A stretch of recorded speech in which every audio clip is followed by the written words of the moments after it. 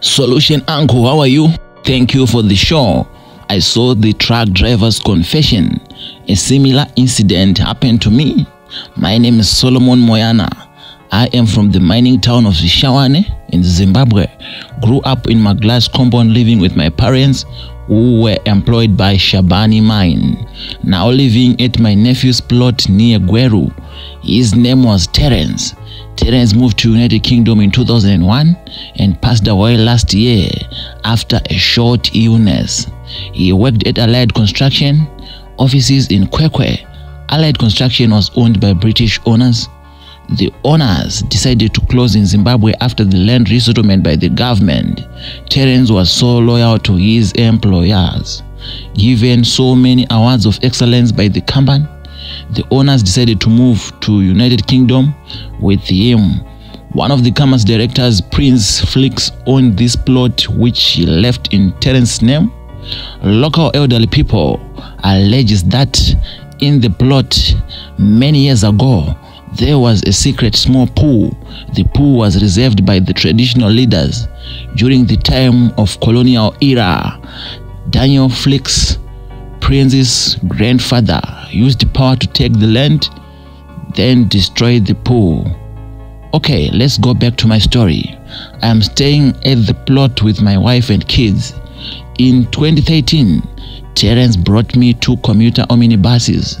From then, I was earning a living commuting. At some time this year, I was hired by a white garment church to Harare. They were going for a Passover. I ferried and left them there. They were going to spend the following three weeks worshiping, so I had to return on my own. I decided to use Rusape Murambinda Road because I had some personal errands to run in Marondera.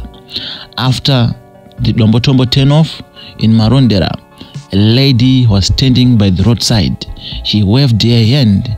I stopped the vehicle since it was my hustle to carry people. Light brown in complexion, he had a slim sex body. She was wearing a white long dress covering her legs to the feet. The lady tried to greet me. I said, Hey, get inside. I might arrested by city council parking officers here.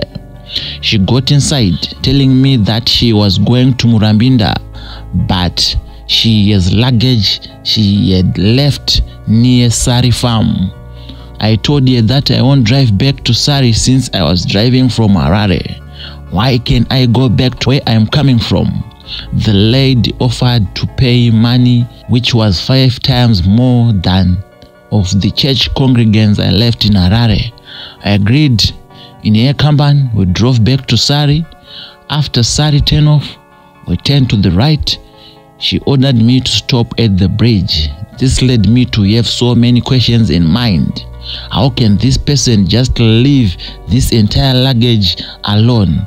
How can she leave it exactly on the bridge? Are there no cars here to hire?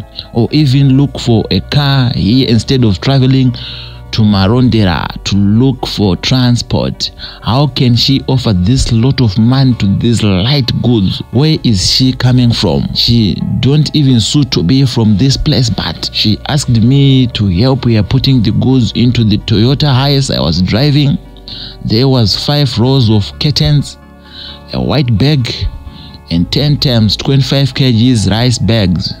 More questions ranged in my mind, but at last, I thought she had stolen uh, these items somewhere. I only needed money, so I did not care whether the goods were stolen or not. We drove back to Marondera. Nobody talked, only listening to music from the radio. In Marondera, I brought fuel.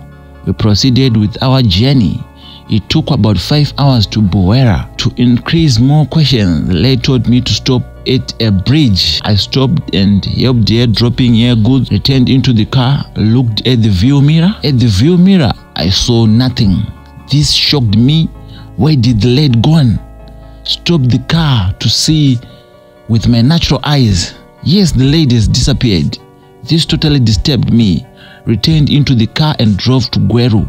The following morning, I woke up to see my commuter omnibuses stolen. Reported at the police and nothing was recovered. went to consult a traditional healer. She told me that the lady I ferried from Marondera to Buhera was a mermaid. The mermaid used to dwell in the secret pool on my plot. Fellow people, it's yetting I lost my job, my commuter omnibus. Truly, the spiritual world exists. Let's dedicate ourselves to God. How are you, Solution Uncle? I am a married woman aged 33. Grew up in Soweto. My father died before I was born and my mother passed away when I was one year old. Grew up in poverty, living with my grandmother. We earned living by begging, standing at robots and road intersections every day, begging for food and money from travelers. One day, a black band stopped on our front. There it comes a young man. By then, he seemed to be from 25 to 30 years. Myself, I was 16 years. He greeted us in a very polite way and gave us 20,000 rands. Told my mother that she should go back home with me, start a small business so that she can pay my school fees. The guy was so caring and kind. We returned home, but we didn't know that they were a gang of thieves, so the guy giving us the money. On our way home, we met the men. They told us to give them money at gunpoint, including the money we begged from the other travelers. They raped me after taking away the money. We returned home in tears. The fact that she witnessed me being raped, Granny was hated to the most extent. She started to be feeling not okay every day. A week after the rape incident, she passed away. Postmortem confirms it was heart failure. That was a major blow to me. How can I lose my grandmother, my one and only relative? It took time for me to adjust. There was nothing to do besides going back to the streets and start begging again for a living. I returned to the streets. It took about three hours with no one giving me any sandy before the same black Benz stood in my front. It was that guy who gave me 20,000 rands. Facially, he looked surprised by seeing me. He said, It's you again. Yay, I gave your grandmother money for your school fees. Why are you still in the streets? Where is your grandmother? How is she? I started crying when he said, talked about my grandmother. He said, Let's get inside this car. It took me about two hours to be able to tell him my story. The guy was so good and he has patience, waiting for me to be able to tell him what was happening. As I was narrating, he started crying too. Told him everything what had happening, but I never mentioned about the rape incident. He took me to his home, started telling me his story. He said he has divorced his wife after cutting him red-handed. We became more closer and closer as time goes on. Three days later, we suddenly started kissing and fell in love. Get engaged at the church the following month, but I didn't know that those thieves that is raped me they have impregnated me. The day I started meeting with my husband and the day I gave birth were not matching at all, but they were matching to the day I was raped. A man who raised me from dust, a man who raised me from death.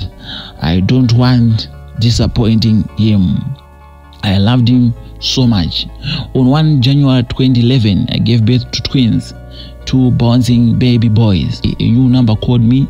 It was one of the robbers. I don't know where he got my number from. Threatening to tell my husband the truth.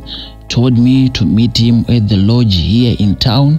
I went there because I don't want the truth to be revealed to my husband. He raped me again. He did it several times before he passed away in 2020.